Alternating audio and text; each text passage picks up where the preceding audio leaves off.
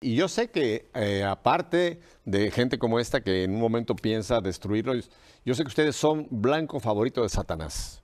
Vamos a ponerlo claro, porque ustedes son ministros de Dios, ustedes tienen un puesto muy especial dentro del el cuerpo de Cristo y de la misión de la iglesia. Tenemos el enemigo más fuerte del mundo, Ajá. que es Satanás. Satanás.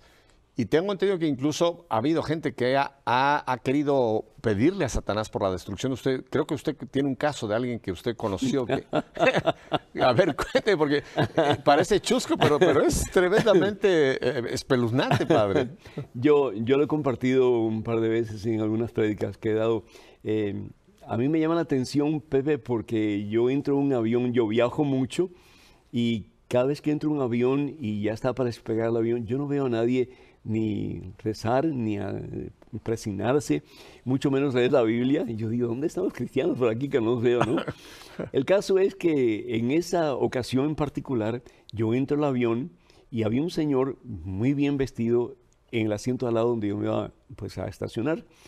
Y me siento, y cuando yo me siento, yo miro al Señor y el Señor está con sus manos unidas, con su cabeza hacia abajo y está en oración.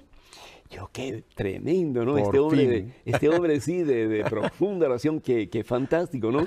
Lo tengo que felicitar cuando abro los ojos, pero si no no abría los ojos, el Señor seguía con sus ojos bien cerrados, sus manos bien juntas y seguía pidiéndole, ¿no? Eh, ya, Orando. Orando, y yo decía, qué, qué- qué tremendo, qué tremendo. Bueno, el avión despega y, bueno, pues ah, ya la gente puede quitarse el cinturón, etcétera. Y de pronto el Señor abre los ojos y yo me le quedo mirando. Digo, oigan, usted tiene que ser un hombre tremendo de Dios. Y me dice, ¿y por qué? Digo yo, porque esta oración tan profunda que usted ha hecho, ¿verdad? Como que me llama la atención. Y yo le voy a decir que yo era sacerdote y en ese momento me dice él, yo no le estaba pidiendo a Dios.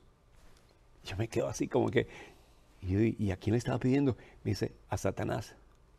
Y se me pararon todos los pelos de punta, así era todo. Y el corazón me empieza taca, taca, taca, taca, taca. Y yo tenía que hacer al Señor así, ¿verdad? El agua bendita. Sí, y entonces ah, le voy a decir, yo soy sacerdote, pero en ese momento el Señor se levanta, se levanta y, y- y agarra su, su- su valija y se va para otro asiento. Y se me queda mirando, pero con unos ojos tan feos, tan feos.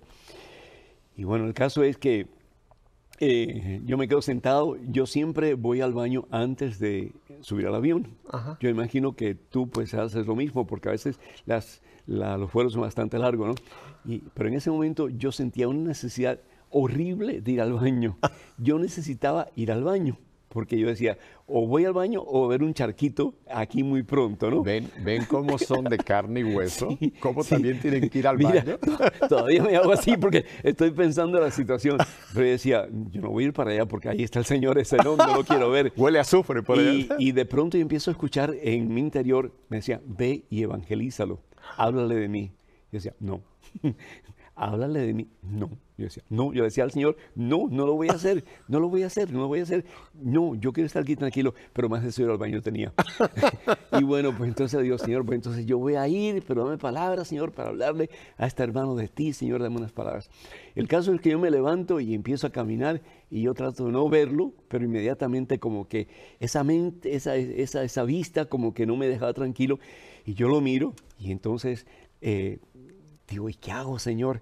Entonces saco una tarjeta de presentación y le digo, mire, aquí está mi tarjeta de presentación, yo soy sacerdote. Y me dice, yo sé quién es usted. Ah, Y usted sabe qué cosa, yo estaba orando por la instrucción de todos los sacerdotes católicos del mundo. Ay, no, ahí sí, por poco, ahí alzo el baño ahí en ese momento, ¿no? El caso es que agarra la tarjeta, ¿sabes qué hizo con ella? La escupió y la tiró al suelo. Y le dije, bueno, mire, eh, yo no sé cuál es su problema, su necesidad, pero yo sé que Dios lo ama, Jesús lo ama, y si en algún momento yo lo puedo ayudar, yo le pido perdón si alguien le hizo algún daño a la iglesia, pero aquí me tiene. Y ya me fui para el baño. Ay, qué rico cuando salí. Ya, ¿verdad? Como nuevo, hombre nuevo. Y entonces ya cuando pasaba me siguió mirando otra vez, pero ya yo dije, bueno, Señor, ya hice Ya cumplí. mi misión, así que el resto en tus manos.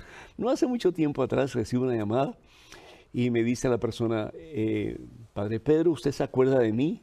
Y a veces las personas me dicen, Padre Pedro, ¿usted se acuerda? Mi memoria es muy mala y cada vez está peor. no, padre, usted conoce además miles de personas. Cada vez es peor. Pero entonces ah, le digo, no, no, realmente no me acuerdo. Dice, yo soy el satánico. Ay, Dios mío.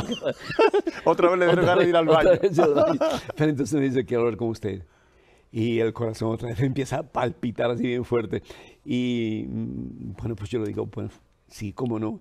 Él vivía o él vive en la ciudad donde yo vivo también, en Nueva Orleans. Ajá. El caso es que, pues le doy la cita y bueno, pues el hombre se confiesa, viene a los pies de Cristo Jesús y es un cristiano fuerte, renovado para gloria a Dios hoy día.